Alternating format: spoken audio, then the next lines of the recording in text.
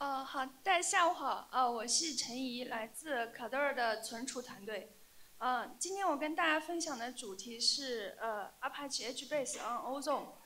嗯，可能就是我不知道在在场的有呃呃了解 Ozone 的多不多，可不可以举个手？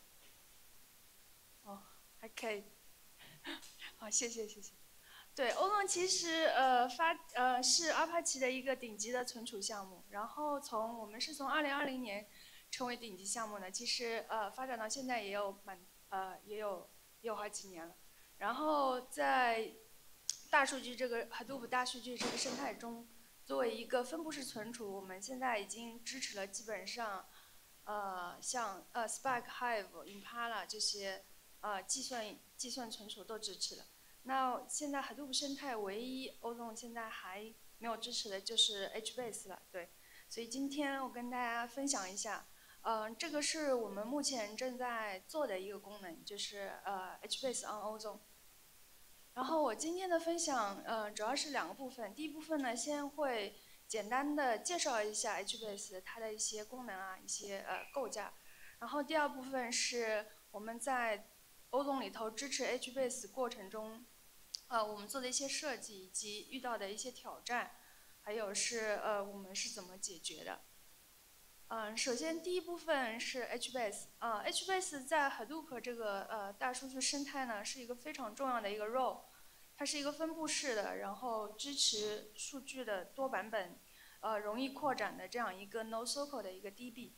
然后嗯像传统的 DB 一样，它的数据也是存储在表里头的。呃，HBase 可以支持到这种呃，就是十亿级别的这种行 row，然后多达这种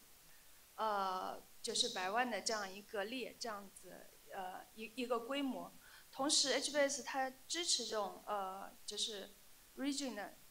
呃区间的这种呃迭代扫描访问，同时也支持随机的呃近实时的这种数据的一个。呃，访问的一个模式。嗯，这是 HBase 的它的一个 data model 吧，跟传统的数据库呃也比较类似，就是它有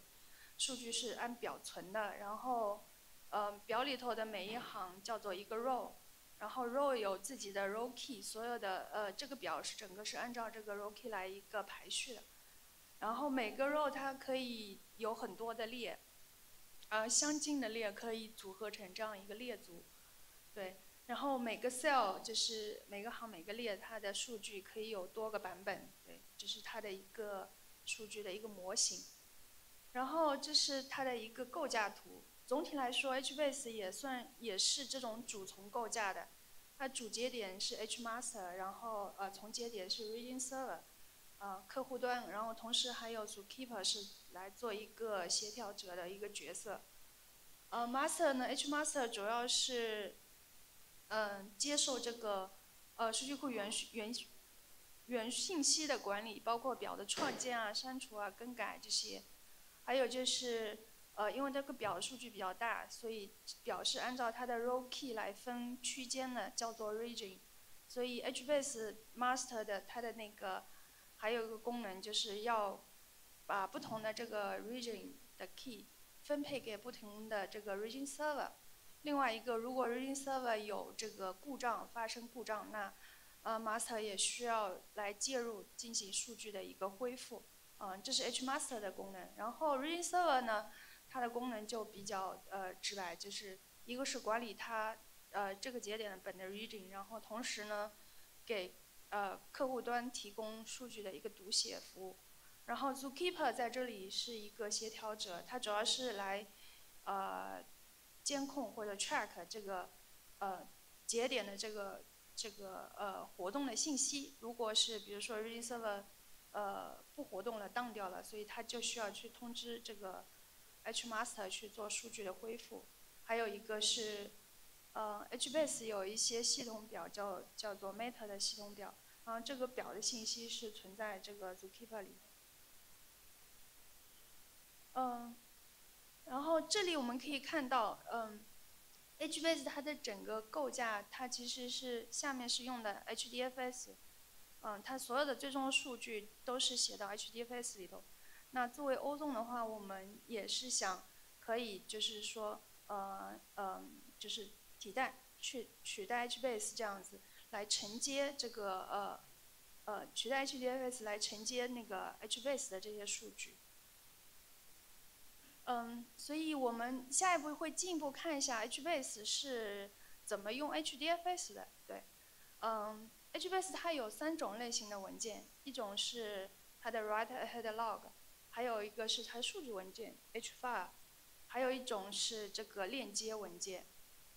然后它的呃 HBase 使用这个读写的 I/O pattern，嗯，除了这个链接文件之外，其他两个都是比较大文件，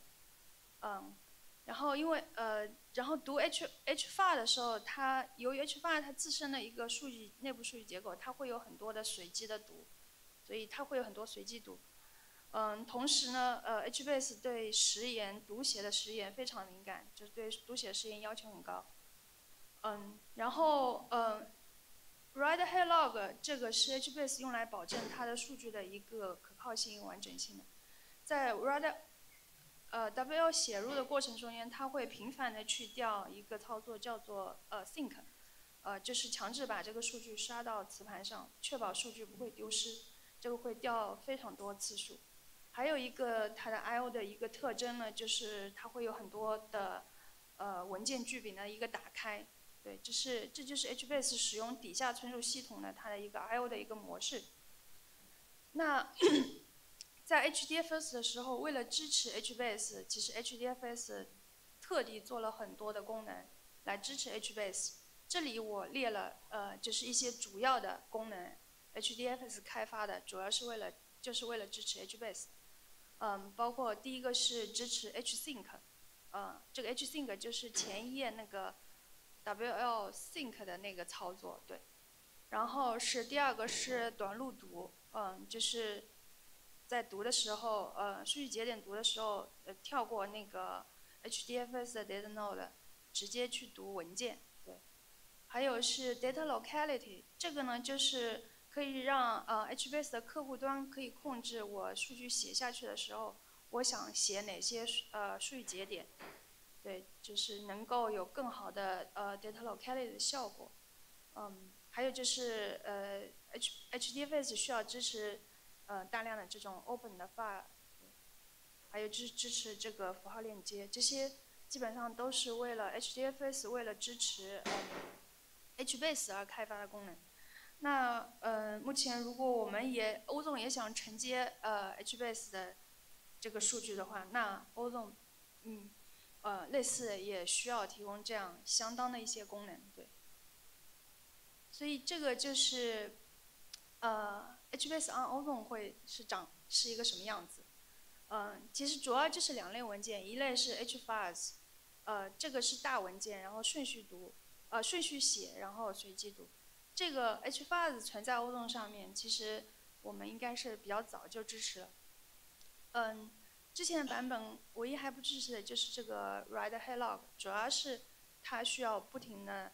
调这个呃 sync。就是之前欧总还不支持 Think，然后这个 Think 的功能是我们现在正在开发。嗯，所以当我们准备要在欧纵上支持呃 HBase 的时候，我们呃第做第一个这个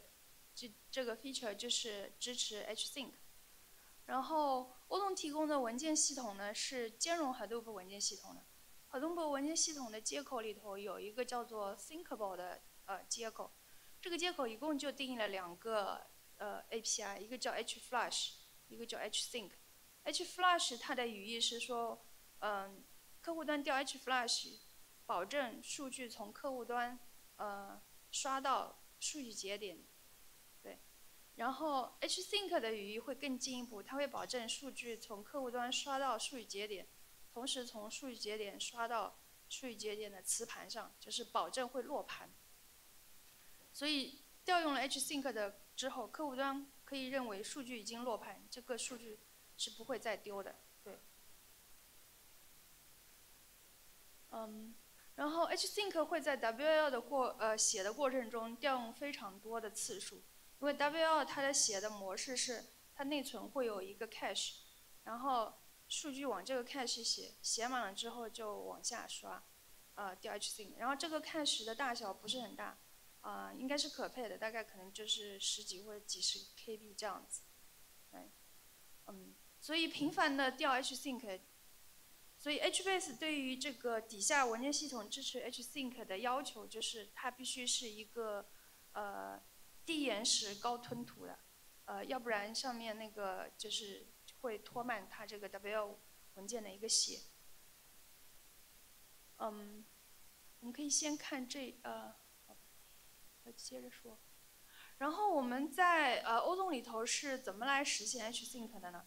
嗯，其实实现 hsync 要做两件事情。第一件事情要先保证把数据从客户端刷到数据节点，然后并且落盘。然后第二件事情呢是。嗯，因为我们的数据这个文件的原数据记录在我们的原数据节点叫做 Auto Manager 上面，我们还要需要去跟原数据节点去呃沟通，去更新它这个最新的数据的一个长度。所以 hsync 是在呃我们的第一版实现里头是实现成了两部分，一部分是先 flash data，然后第二部分是去 update 这个文件的一个长度。嗯，flash data 的话，我们有两个 call，一个叫 write chunk，一个叫 put block，这是我们在呃之前就已经有的 API，所以我们在第一个版本的实现中间，我们没有去创建新的 API，我们就引用了这两个 API，然后同时呃修改文件的长度，我们也沿用了一个原有的 API，叫做 commit key，对，只是引入了一个新的呃 meta 的一个嗯。一一个一一个一个 meta 叫做 hsync client ID，它记录的是写调用这个 hsync 的这个客户端的 ID 的呃是一个数值，对，嗯，就客户端呃 Ozone Manager 会做这个事情，嗯，这就是我们第一版的 hsync 的一个实现，然后嗯沿用了已有的 API，嗯，然后这里有一个要就是嗯专门。那个讲的是，在支持 hsync 的过程中间，我们其实做了一个比较大的改变，就是对于这个文件数据可见性的改变。就是在支持 HBase 之前 o z o n 里头所有的文件，在你没写完、文件没有 close 之前是不可见的。就是，呃，就是除了写的这个客户端，其他客户端想去读它是根本就不可见的。但是因为 HBase 的它的要求不一样，所以我们。改了这样一呃改了，呃就是带有这个 flag 的这些文件的行为改掉了，就是如果有这个 hsync client ID 这个 flag 的这些文件，嗯，它在这个文件写之前，呃写完之前也是可见的，就是可以有一个呃客户端在写，另外一个客户端在读，这是可以支持的，这是专门为了呃 HBase 而改的，对。嗯，这个地方呃，我不知道，可能后面也看不太清楚。就是我列了一下，如果我们想写一个正常的文件，在 Ozone 里头写一个正常的文件的一个 API 的流呃流呃一个流程和如果写一个像呃 HBase WL 这种需要调用 hsync 的这样一个流程，左边就比较呃左边就是先创建文件，然后分配块，然后就呃写数据块，呃 write chunk。写到 data node，然后后面有个 put block，也也是给 data node。这两个的区别呢，就是 write chunk 它是把数据写到，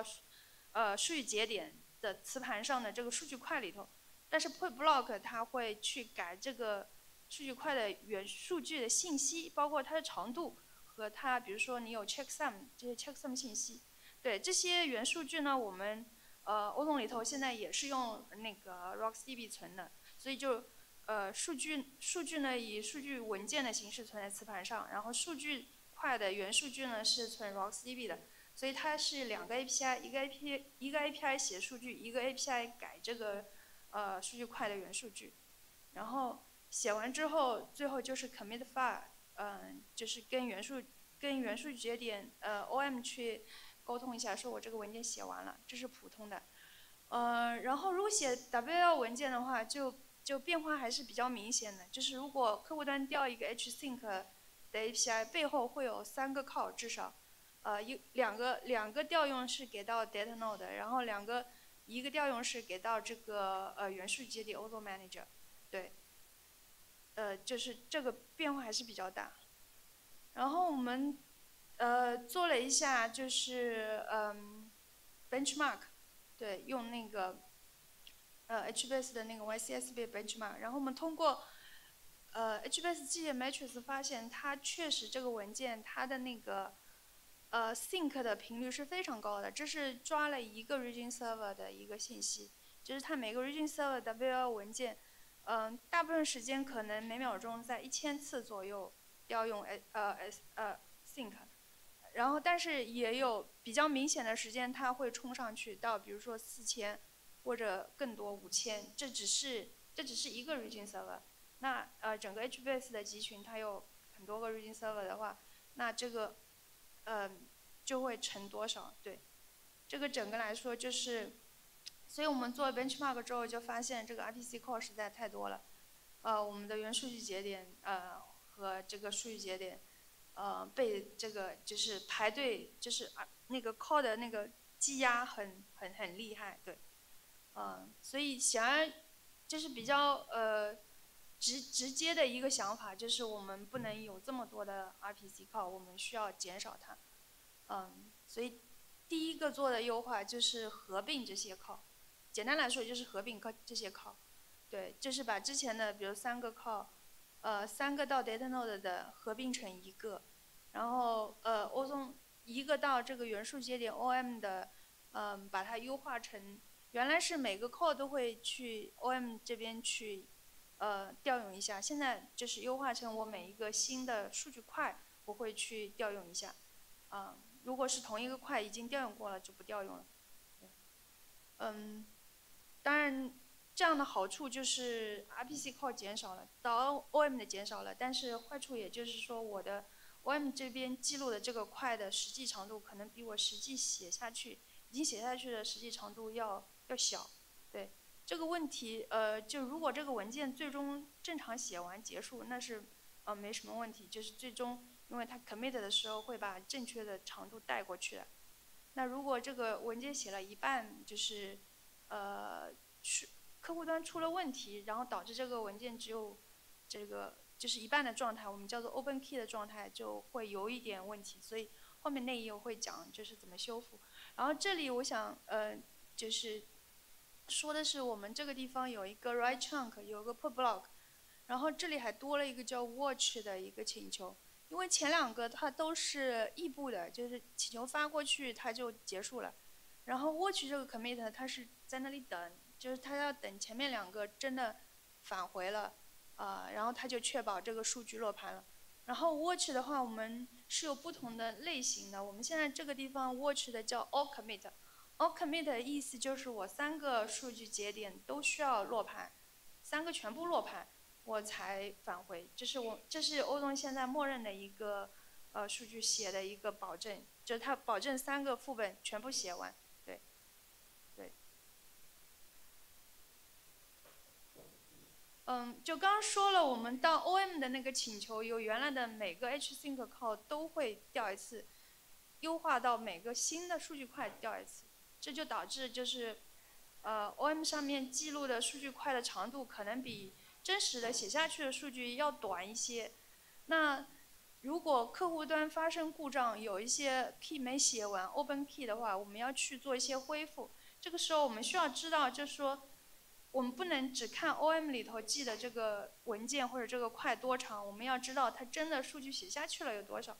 所以。这个这个过程，我们叫做呃 file list，呃就是租约 recover，其实就是 recover 这个 key，嗯，那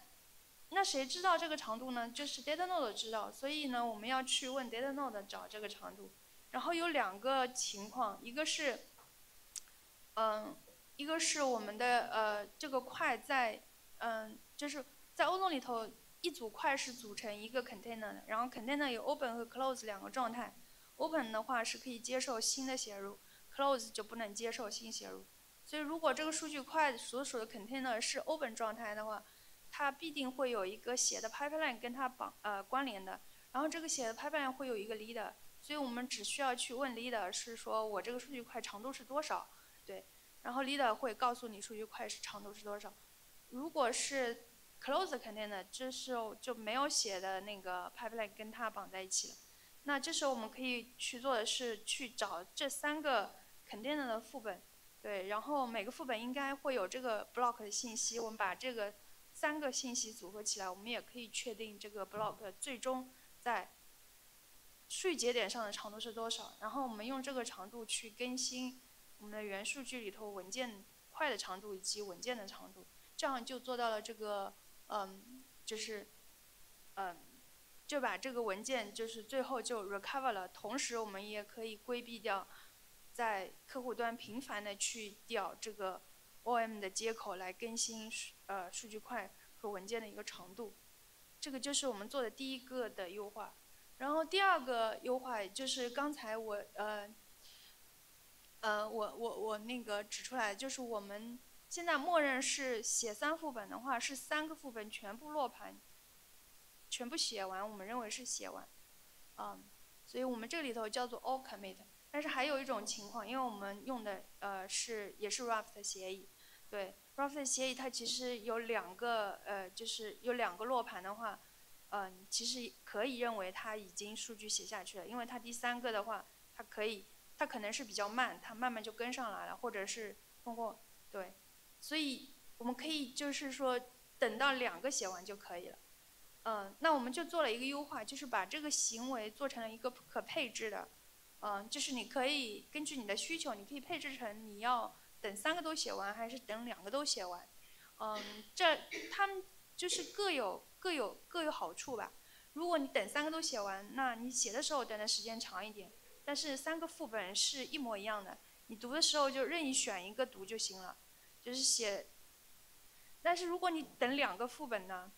你写呃，你写入的时候等的时间会稍微短一点，因为你不需要等第三个。如果第三个比较慢的话，但是读的时候，嗯，就是假如说你写完马上去读的，然后又不巧就读到了第三个慢的，他没写到的那个节点，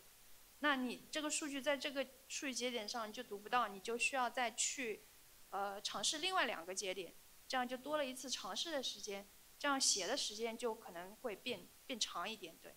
就是。这两种就各有各有优缺点嘛，然后我们把做成可配置的，就是你可以依据你的，呃，依据你的这个你的应用的一个特性嘛，然后你可以选对，然后，然后我们也简单做了一下测试，我们用欧总自带的一个呃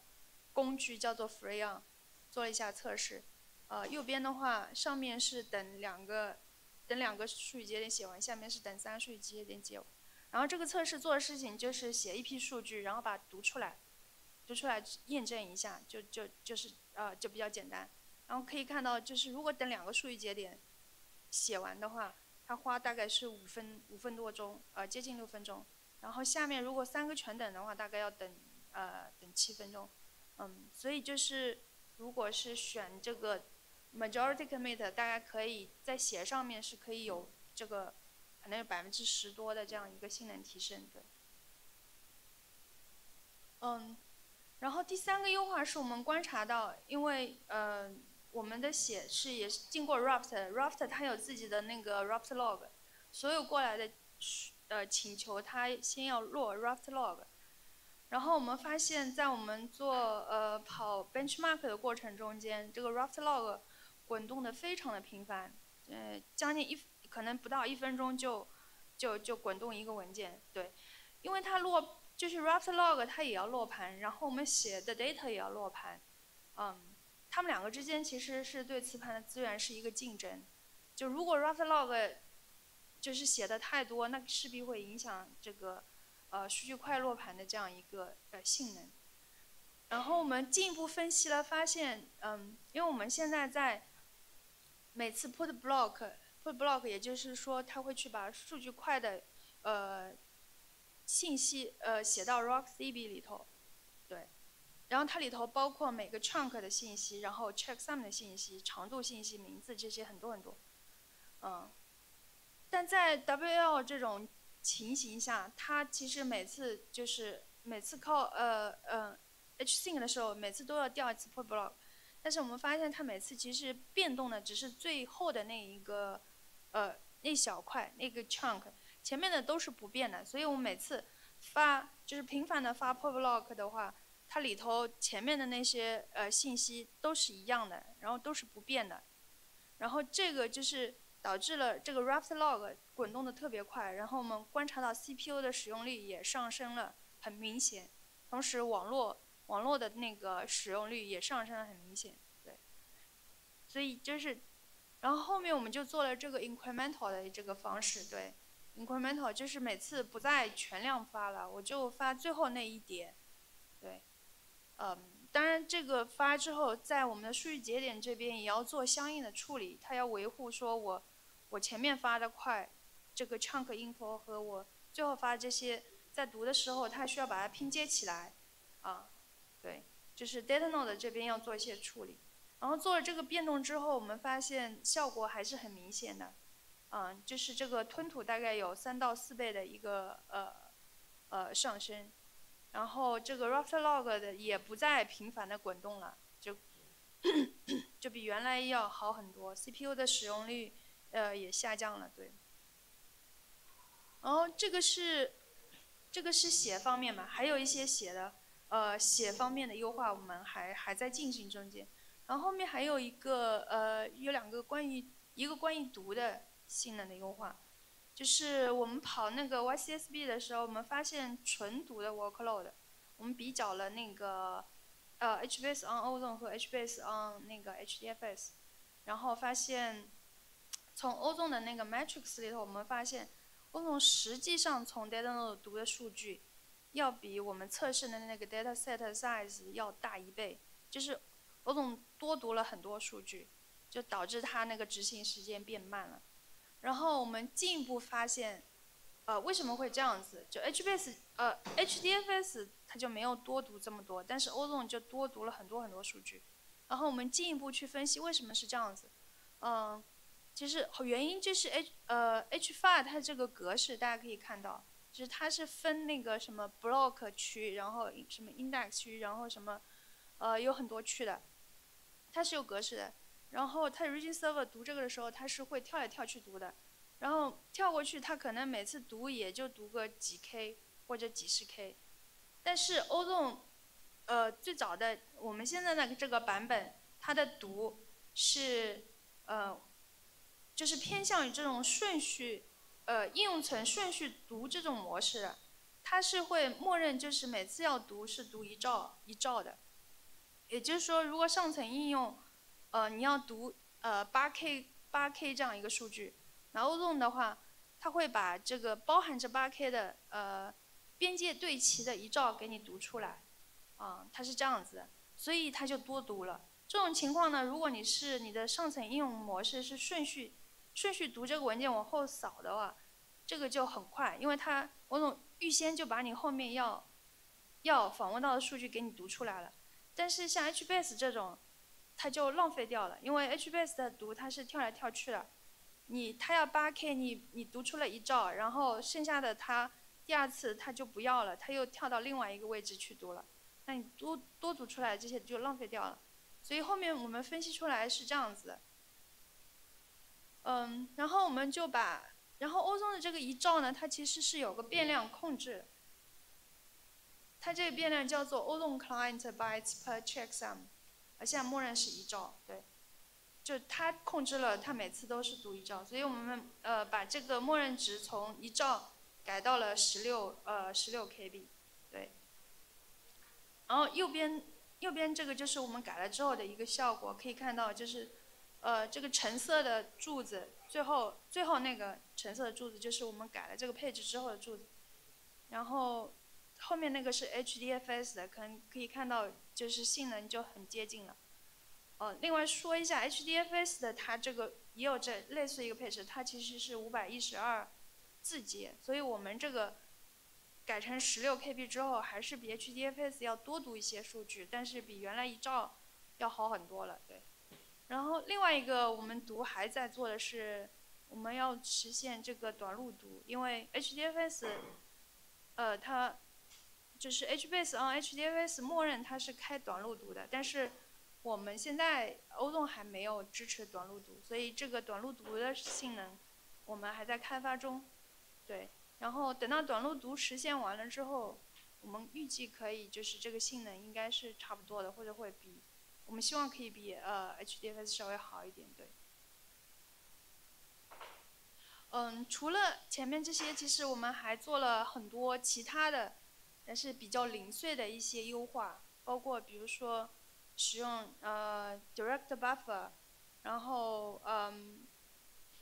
嗯把一些同步的改成异步的，还开发了一些工具，嗯比如说像这个叫 DNAecho，它会检测客户端和嗯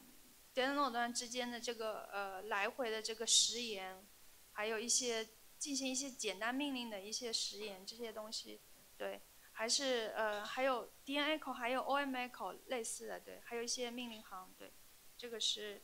嗯，然后，嗯，最后这一页就是跟这个功能呃 HBase ON on on 相关的一些主要的一些 Jira 吧，啊，其中有一个是开在 HBase 社区的，然后，嗯，呃，HDF，呃。欧动社区有两个，对，大家如果对这个功能感兴趣的话，可以关注这三个主要的、主要的这个 feature Jira，对。呃，以上就是我今天的分享，谢谢大家。